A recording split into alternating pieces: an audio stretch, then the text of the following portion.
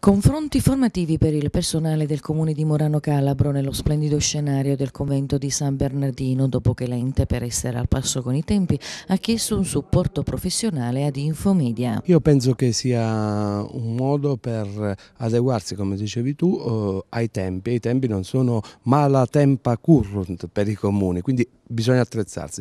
Per attrezzarsi eh, bisogna avere anche dei validi supporti professionali. Io penso che la formazione del personale, la eh, tempistica di informazione siano elementi essenziali nell'amministrazione attuale di un ente. Eh, se a questo aggiungiamo eh, che eh, il servizio ci consentirà poi anche di avere eh, un riscontro positivo per i nostri cittadini, penso che sia eh, il massimo che un amministratore possa fare.